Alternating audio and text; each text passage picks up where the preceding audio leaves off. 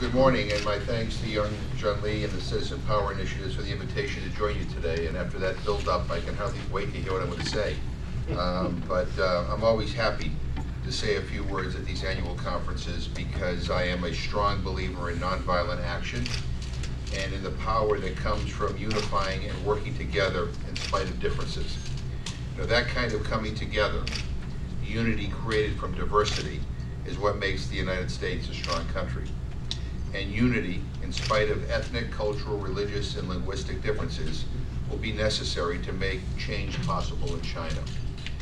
Citizens Power's commitment to bringing everyone together, Han Chinese, Tibetans, Uyghurs, Mongolians, Christians, Falun Gong practitioners, Muslims, Buddhists, and people from Taiwan, Hong Kong, and Macau, and concentrating on what everyone has in common is exactly the right thing to do. And I congratulate you for taking this approach. I also want to applaud your focus on empowering young leaders. You know, there is a lot to be said for the knowledge and wisdom that comes from experience. But there is just as much to be said for the creativity and the fearlessness and the hope and the sheer energy of young people whose entire futures are on the line. This year in Hong Kong, we have seen the power of young leaders who have taken to the streets over and over and over again to stand up for their rights. It is so important that you are honoring them today by giving the Citizen Power Award uh, to the Civil Human Rights Front of Hong Kong. You know, the Civil Human Rights Front is a coalition of 50 organizations that has been absolutely, absolutely key in building and sustaining the Hong Kong protest movement. It is a living, breathing example of the importance of collective action. And its leaders are young. Many are students, including four of those who are with us today. Uh, and all of us have seen them in action over the last several months. I mean, the whole world has been riveted uh, on what has been happening in Hong Kong.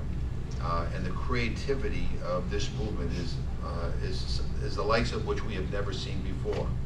Um, you know, the peaceful approach, the, the polite approach to protest, uh, organizing in ways that uh, I think other protests that, I, that we have observed over the years have not necessarily followed. But one of the reasons why they're effective is because of the way they have approached this. Um, you know, we don't um, we don't know yet how things will turn out in Hong Kong. We are all hopeful, uh, but we do know that millions of Hong Kongers are willing to stand up for their rights and want to choose their own leaders. You know, part of the reason we know that is because of the bravery and the creativity and the persistence of the Civil Human Rights Front. You know, this week, uh, this last last past week, um, the House of Representatives passed legislation in solidarity and in support uh, of the demands of the Hong Kongers. Both the Protect Hong Kong Act uh, that I introduced, uh, which bans exports of equipment used to repress protesters, and the Hong Kong Human Rights and Democracy Act, passed by a unanimous vote in the House of Representatives. Democrats and Republicans all came together. Liberals and conservatives all came together. Uh, for those of you who have been observing Washington in the last few months, we can't agree on what to have for lunch. Uh, and yet people came together in solidarity behind these measures. And, um, and passing those bills was an important step, but it is not the end of the story, uh, nor can it be the end of our solidarity uh, with uh, those who are fighting for their rights. Now, now it's time to pressure the Senate uh, to do its part and to push the Trump administration to do the right thing and so far they haven't. You know, we have heard some very positive statements from some individuals uh, in the Trump administration on some of the, uh, and ex expressing solidarity with the protesters. Haven't heard it from the president. Um, and until the president gets, you know, on the, on the right uh, uh track here uh, and joins with the bipartisan coalition in the Congress, um, we are sending mixed me messages to mainland China. Uh, we need to make it clear, and, and, and, by that I mean our entire government, uh, from Congress to the executive branch, that if the United States of America stands for anything, we stand out loud and four square for human rights. Um, you know, and you know, and while we're gathering here, the news from Xinjiang is terrible, and and the repression in Tibet continues. Um, I was with uh, a group of uh, Tibetans in my congressional district uh, on Saturday night celebrating the 12th anniversary of His Holiness the Dalai Lama uh, receiving the Congressional Gold Medal, the highest award that Congress can bestow on anyone.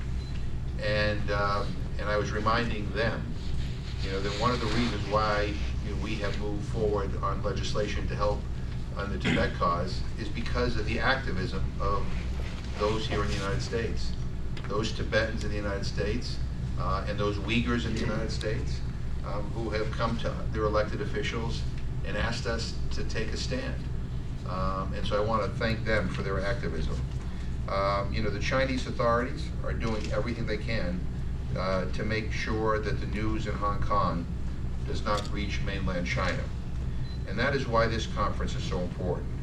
You have the opportunity today and tomorrow to share information, to share with us ideas and strategies, and to figure out how to work together to support the struggle in Hong Kong and, and oppose the repression elsewhere. You know, change can take a long time, um, or it can come like lightning. Uh, a year ago, I don't think any of us uh, imagined a social movement like we've seen in Hong Kong. Uh, so please keep up the, the good work. Um, you're an example uh, and an inspiration to so many people around the world um, are fighting for justice and fighting for their rights. So I want to thank you again for inviting me to, uh, to join you here today. And I wish you a very, very productive conference. Um, and I'll just close with this. I, I, uh, I'm, I'm a believer in the power of people.